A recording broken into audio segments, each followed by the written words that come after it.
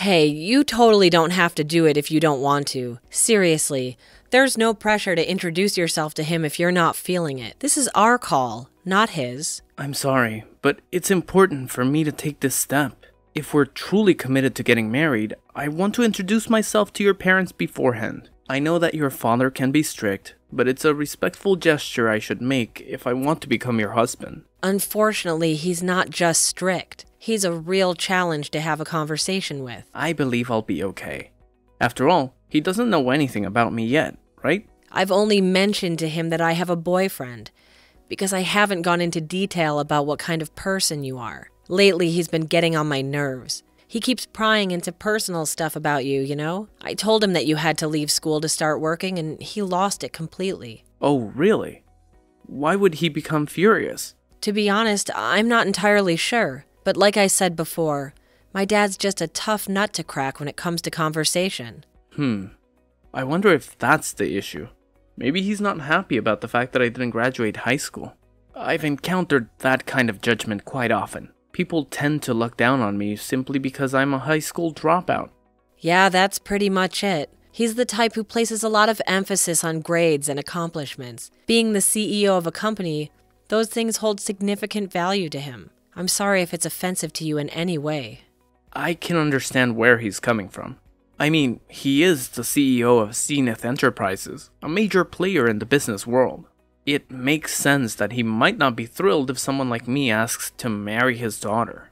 But despite that, I really want to seek his blessing before we take the plunge.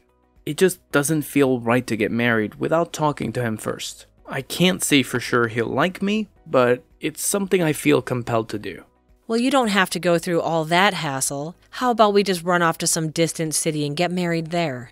I mean, I left my parents' place because I could not stand my dad anymore. I'm itching to break free from him, you know? Once we're married, I'll finally make a clean break. We can consider those options if he doesn't give me his permission to marry you. It's worth giving it a shot before completely giving up, right? We can't predict the future after all. There's a possibility he might end up liking me. I highly doubt it, to be honest. Why do we have to play by all these rules anyway? We don't need his permission to get married, you know? You know me so well, don't you? You're aware that I prefer to abide by societal norms whenever I can. Yeah, I know your personality well. I just feel like trying to convince him is a waste of time. But if you're dead set on doing this, I'll talk to him and arrange a meeting. I'm pretty sure it's going to end badly, though, just saying. Remember, I did warn you about it. Don't worry. I'll handle it. I'll go talk to him on my own. You can stay home, alright? I appreciate your concerns, really. Just remember, he can be pretty intense with his words. It might get a little bit intimidating if you're not used to it. Okay. Thanks for the advice. I'll keep it in mind.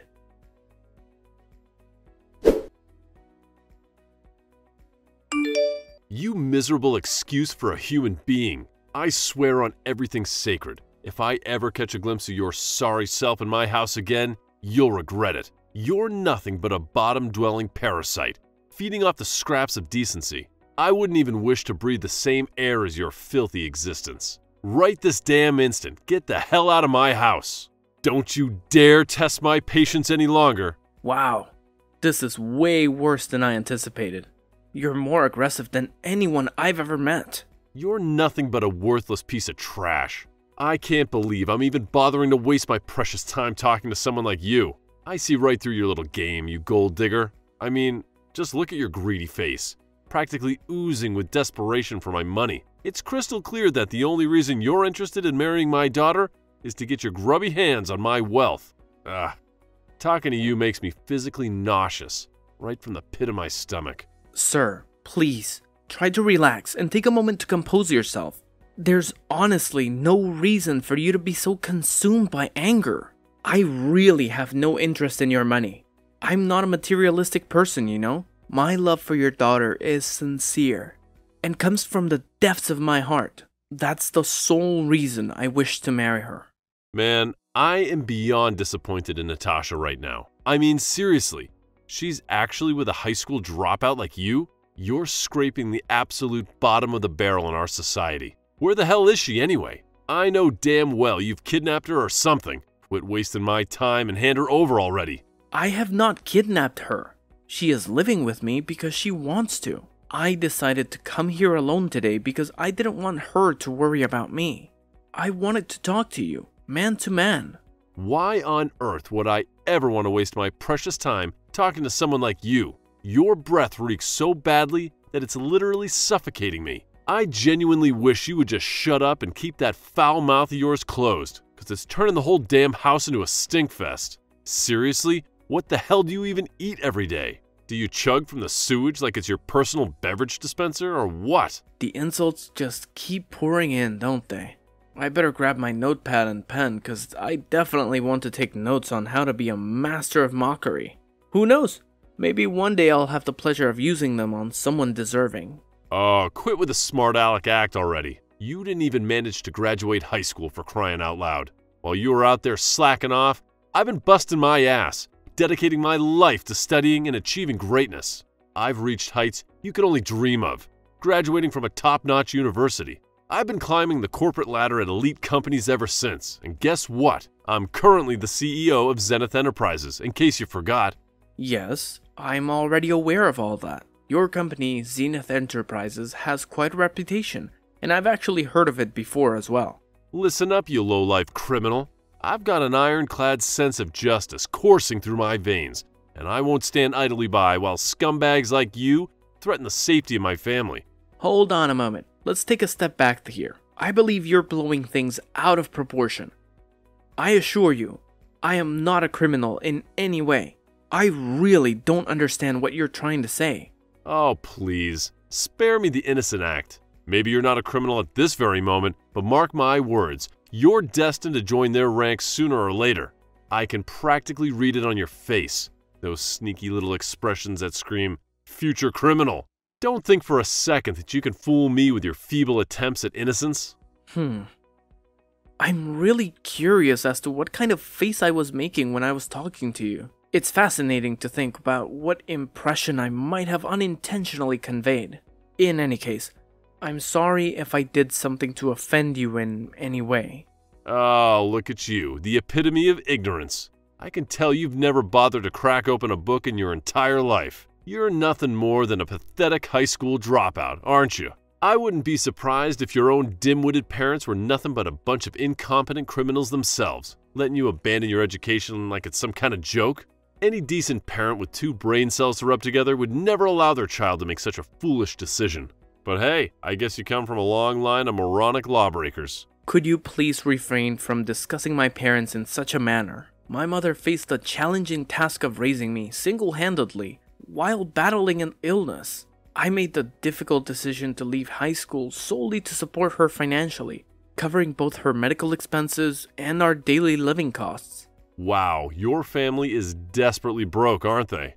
It's pretty obvious that your parents didn't bother saving any money. How irresponsible of them. Are you seriously saying that? How could you say such a thing? Your sob story is so tragic, it's laughable. You really think I'm going to feel sorry for you? Well, think again. I don't care how much you try to manipulate my emotions. I'm not going to hand over my precious daughter to a pathetic loser like you. No way.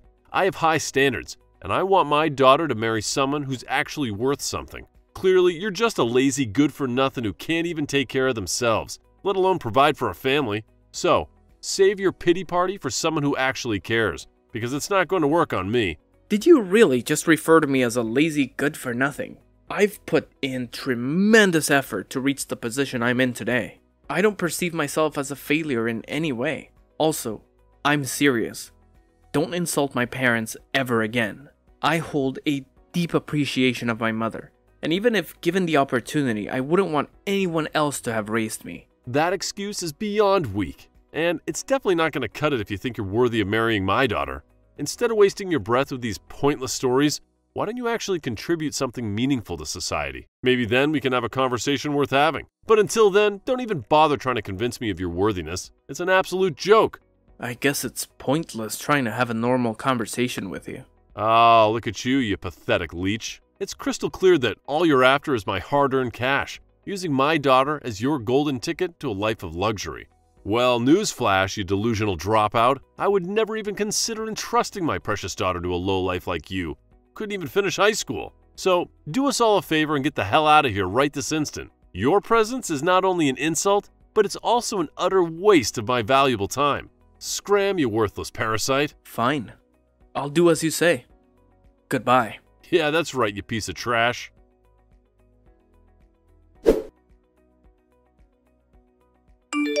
Man, what is up with your dad? He's totally off his rocker. Babe, this is exactly why I keep telling you not to bother seeing him. I tried so hard to get through to you, but you just wouldn't listen to a word I said. I honestly didn't expect him to be such a horrible person. I've never met anyone as despicable as him before. Is he truly the CEO of a company? It's difficult to think that someone like him can hold any position of authority and expect to be respected. Honestly, I feel like he's gotten even more arrogant and obnoxious since he climbed up the corporate ladder. So, tell me, what ended up happening after you had that encounter with him? We couldn't even have a decent conversation. He was just constantly throwing insults my way, so I made the smart move and walked out. Screw all this drama. Let's just do what you suggested from the start and elope. It would have saved us so much trouble. Yeah, we should have just done that from the start. Sometimes it's alright to bend the rules a little bit, especially when we're not doing anything illegal. It's a bummer, though. I had this tiny sliver of hope that against all odds you two would hit it off somehow. But hey, he's in for a real shocker when he finally discovers who you truly are. I can't wait to see the look on his face. I had hoped that he would recognize me when I went to see him, but to my disappointment, he didn't even give me a chance to speak. He simply told me to go home without any opportunity to explain myself. It was disheartening to say the least. He's getting up there in age, so maybe his memory isn't what it used to be. Plus, you had that mask on, right? No wonder he didn't recognize you. But you know what? None of that really matters anymore. I'm done with him. I'm cutting all ties. We don't have to see or talk to him ever again. You know what?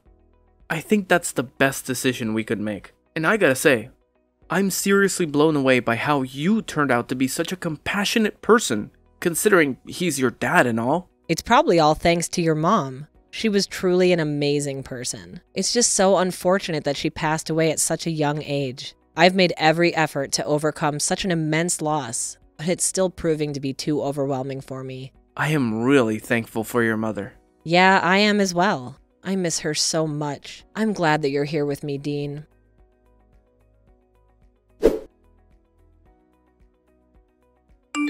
Hello? It's me, Natasha's father. What's the matter? Do you have something to ask me? It's just that I received a letter from her this morning. It said that she's cutting all ties with me and that your name is Dean Elliot. I see. I had no idea that she sent a letter to you. That's very kind of her. I'm sorry to say this, but I'm going to get married to her regardless of what you said to me. That doesn't really matter right now. Are you telling me that you're really Dean Elliot? Yes, you're right. I am the person featured in the TV advertisements for Zenith Enterprises. I work as an actor. Wow, I had no idea about that. It's quite surprising to be honest. I'm curious though, why didn't you mention it during our meeting the other day? I was told to get out before we could even have a normal conversation. You just kept on spitting insult after insult. You probably weren't listening to a single word that I said anyway. I'm sorry about how I treated you. I was probably having a very rough day. Okay. Why did you decide to contact me? I don't particularly want to be talking to you. If you have nothing to say, then I'm going to put my phone down. I want you to let me apologize to you. I had no idea you were Dean Elliot. I'm sorry for my attitude that day. I guess I was a little harsh on you. I'm not going to forgive you even if you apologize to me. You were being overly aggressive and never gave me a chance. I'm never going to forget that. I could never say the things that you said to me, even to my worst enemy. I'm very sorry for the things I said to you. I understand why you wouldn't want to forgive me. If I knew who you were, I never would have treated you that way. I may be successful now. It still doesn't change the fact that I was born in a poor family and that I dropped out of high school. Everything that you said to me hit me where it hurts, not to mention brought up painful memories. It's not something that I can just forget. Wait, I didn't actually mean any of that. I didn't think you would take my words so seriously, to be honest. Also, you never would have apologized if I wasn't Dean Elliot, right? You're only saying sorry after realizing who I am. There's just no way that I can forgive a person like you. Your apologies sound so empty to me. Do you really know what you did wrong? Of course, I know what I did wrong. I got a little too carried away because I didn't know who you were. You really don't get it. You shouldn't be that aggressive, no matter who you're talking to. It doesn't matter if you're talking to a famous actor or a high school dropout. You need to treat everyone with more respect. Yeah, maybe that's true. I know why you're apologizing to me. This is very bad for you and the company if it gets out. The CEO of a company shouldn't be calling the poster child a piece of trash. I'm sure you also falsely accused me of being a criminal? I wonder what would happen to you if the entire world found out about this. Are you threatening me right now? No, I wouldn't do such a thing. I have no intention of telling the world what you said to me. It's just that Natasha seemed very adamant on telling the world about everything. I did try to stop her, but I'm not sure it was enough. If I were you, I'd try to talk to her about it. What are you saying? Is she trying to destroy my life? Seems like she has a lot of hatred towards you. Now that she's cut ties with you, who knows what she might try to do. That can't be good. I better talk to her right away.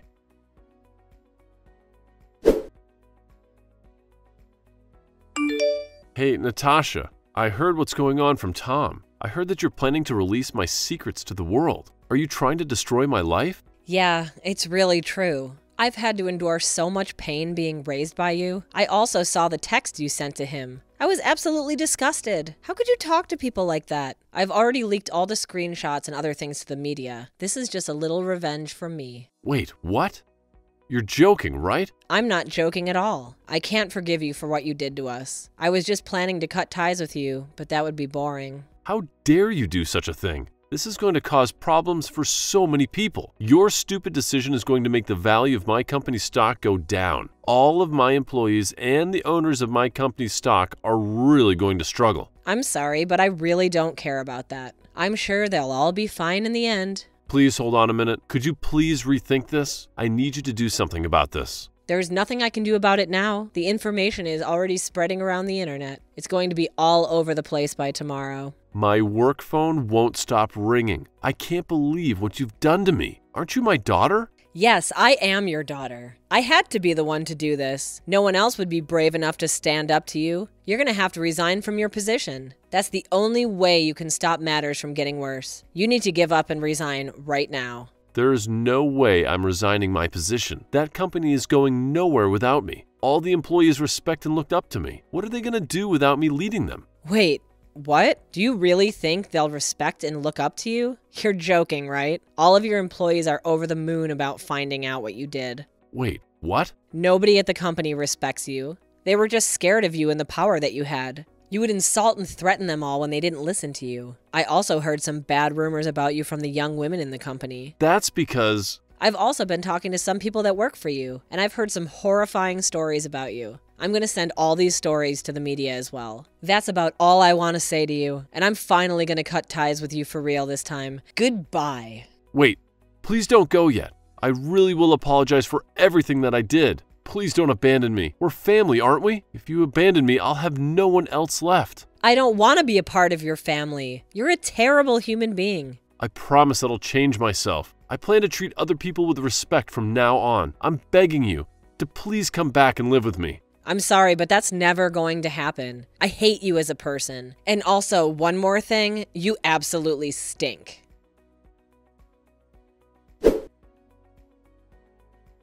After his daughter severed all ties with him, he was forced to resign from his position at the company. It became inevitable once major news outlets began exposing his actions to the world. Recordings of his voice and stories detailing his mistreatment of employees were leaked, intensifying the situation. He quickly transformed into one of society's most despised people, making it highly unlikely for him to secure future employment. Moreover, he faced multiple lawsuits from former employees, citing harassment and sexual abuse among other grievances. The resulting damages he had to pay amounted to millions of dollars. Presently, he resides alone in his sprawling house, rarely venturing outside due to the constant harassment from people who taunt him about his foul reputation. It's become a sick game for some to capture his reactions and share them online. In contrast, I'm genuinely relieved that we chose to marry without his blessing. It was a wise decision to distance ourselves from that toxic influence.